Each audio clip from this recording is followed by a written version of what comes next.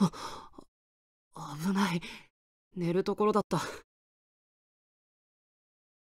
そうだ思い出したトリガーがバックヤードマジックに出るって話を聞いたんだ嬉しいな天ニーに会えるしかっこいい天ニーがたくさん見れるドキュメンタリーだったら普通に日常生活してるところもカメラさんが映してくれてるかもしれないし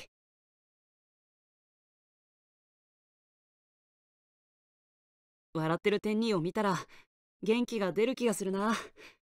子供の頃からそうだったもん。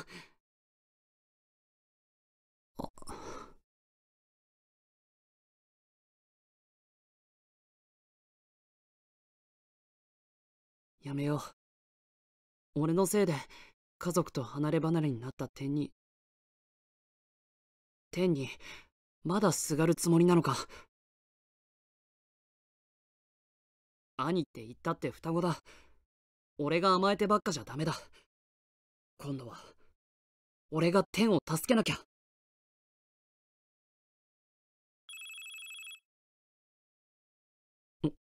電話だ。誰だろう。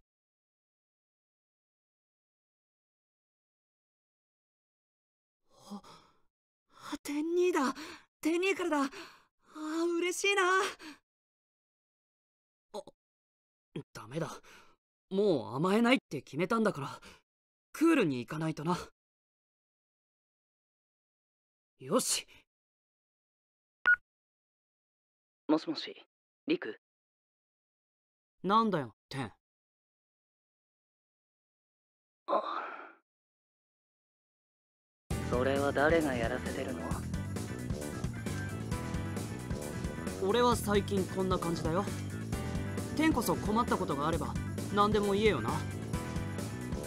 兄貴って言っても双子なんだし数分の差なんだからさもっと甘えていいんだぜ。俺がちゃちゃっとクールでシャープな感じで解決してやるから。わかった。泉伊織だね。今すぐ泉伊織に代わってくれる？なんでイオリに変わるの？